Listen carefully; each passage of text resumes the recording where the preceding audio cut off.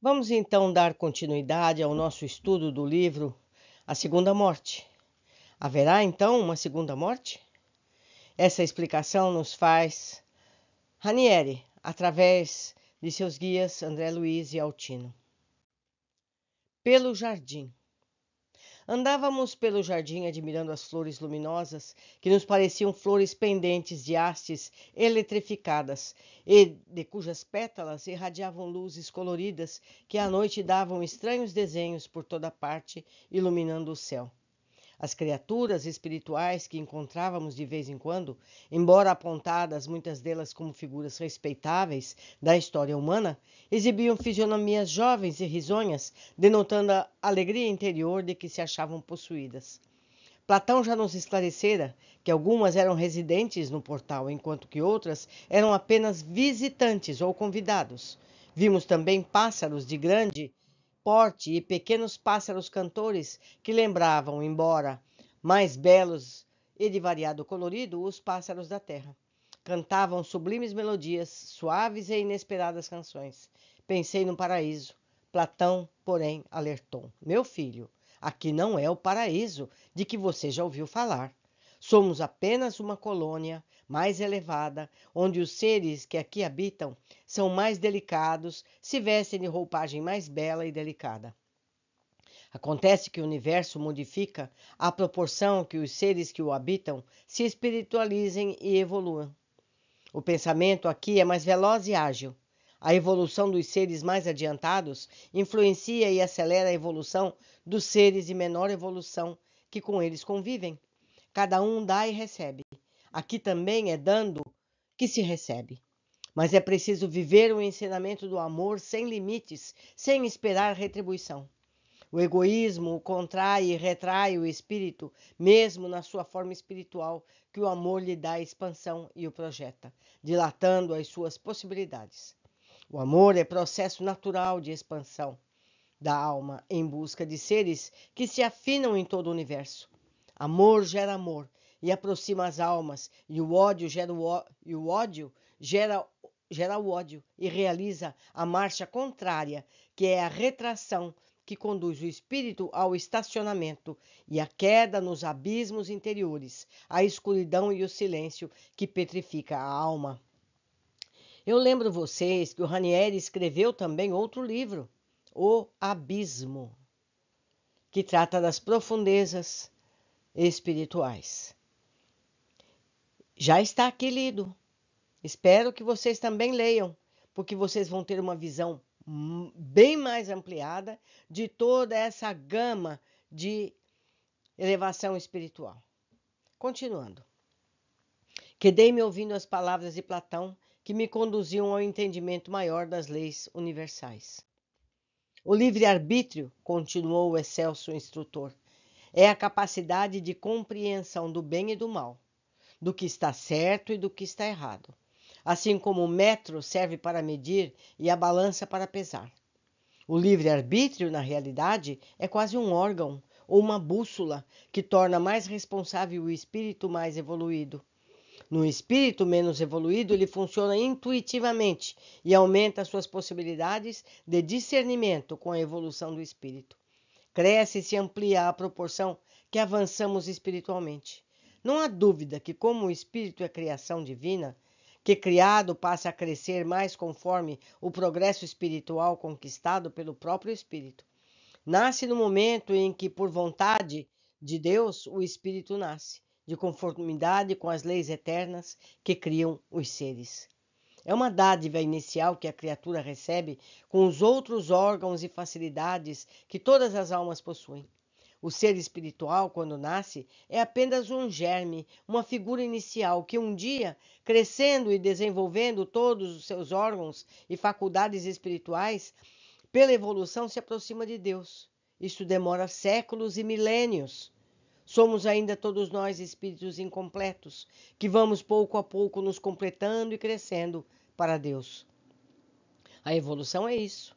Uns estão mais completos que os outros. Assim, não julgueis, disse Jesus. E Sócrates, conhece-te a ti mesmo. E nós nos lembramos do a cada um segundo as suas obras. Os grandes iniciados apenas anunciam leis eternas. Não fizeram mais do que isso. Apenas cada um deles falou com mais ou menos amor. Cada um dá o que tem e o que pode, e recebe conforme o seu merecimento. Por isso lembramos mais uma vez: não julgueis, mas amai-vos. Evoluir é acelerar o desenvolvimento da alma, ou desenvolvendo os sentimentos, dando cada vez mais vida ao pensamento, dar direção ao progresso dos órgãos embrionários da alma. O que chamamos faculdade espiritua faculdades espirituais não são mais que órgãos que funcionam como sede de suas faculdades, e cada faculdade é adequada a cada órgão que lhe corresponde. O pensamento, que se manifesta em diversas maneiras, sua localização produtora, que é a sede onde todo o intelecto é gerado, a fala, a audição, que se manifestam pelos órgãos da fala, que servem no conjunto dos órgãos vocais, boca, cordas vocais, faringe, etc., e finalmente se materializando nos ouvidos, no caso dos encarnados, e assim por diante. No espírito, o som, as palavras e outras possibilidades se manifestam por todo o organismo espiritual, transmitindo silenciosamente à distância e até a mente a mente, encarnada ou não. Um tanto surpreendido pelas revelações, percebi que Platão nos dava delicadamente uma verdadeira aula. Não me cansava de admirar a beleza dos jovens que cada passo nos sorriam e acenavam para nós. Platão respondia e nós também. Vejo que se admiram com beleza dos jovens. Pois não se surpreendam, não. Parecem jovens para vocês que há pouco chegaram do mundo. Mas são espíritos antiquíssimos. Como? perguntei assustado. Não são rapazes, que alguns até crianças e tão jovens? Não, riu-se Platão. São velhos. Aqui acontece ao contrário que nas zonas mais inferiores. À medida que o espírito fica mais velho e evolui, fica mais jovem e belo. Velhice é coisa da terra e dos mundos inferiores. Aqui, evoluindo, nós não envelhecemos, porque evoluir também é aceleração e aumenta a velocidade e a frequência das células espirituais da alma. Evoluir é crescer para Deus, é juventude e eternidade. Evoluir é movimento de transformação. A velhice é estacionamento e imobilidade. Quem estaciona começa a parar em si mesmo e envelhece. Há um desgaste pela inércia assim como há um rejuvenescimento pelo movimento, pelo movimento. À proporção que evoluímos, nos aproximamos de Deus e da eternidade, e no final dos milênios começamos as transformações porque nos aproximamos da eternidade. A eternidade do espírito é alcançar a imutabilidade e não a transformação. Entenderam? Se evoluir é movimento, eternidade é quase estacionamento em movimento das células que hoje porque ainda as criaturas sediadas em nossas esferas não entendem paradoxalmente o que seriam células mentais ou cerebrais, apenas para esclarecer por comparação. Sei que é difícil, mas não são os primeiros ensinamentos que posso dar nessa área. Senti que estava ficando tonto e que era muito difícil para mim penetrar o pensamento do filósofo. Contemplei o jardim, que rebrilhava de flores luminosas e coloridas, que davam ao céu a aparência de uma paisagem fantástica. Pensei como num sonho. Compreenderiam os encarnados as novas informações que lhes traria do céu? E lembrei-me das palavras de Jesus a Nicodemos. Se não me entendeis quando vos falo de coisas da terra, como me entendereis quando vos falar das coisas do céu? É, amigos. Devagarinho nós vamos aprendendo muito devagarinho. Tomar conhecimento disso tudo já é o primeiro passo. Entender tudo isso é mais adiante, à medida que vamos meditando a respeito. Platão sorriu e disse: Não se preocupe, meu filho, apenas aqueles que já alcançaram o entendimento pela evolução compreenderão tudo, porque penetrarão no espírito da letra, como lhe ensinou outro amigo espiritual. Atravessarão a casca do coco e comerão o fruto. Só os séculos e os milênios possibilitarão ao espírito o conhecimento maior e a evolução maior. Não esperemos um céu que não conquistamos com luta, suor e lágrimas, a cada um segundo as suas obras e o seu trabalho. Laborioso e sacrificial é o caminho da espiritualidade, que afinal é a conquista de si mesmo no mundo interior da própria alma. Ajuda-te a ti mesmo e os bons espíritos te ajudarão. Daí, daí receberás. Prepara-te e o instrutor aparecerá na hora certa. Faze também por ti mesmo, e o Senhor aplainará o teu caminho. Tu és, na realidade, a tua verdadeira obra-prima, que terás que esculpir sozinho, embora orientado e amparado pelos mestres e amigos que te amam.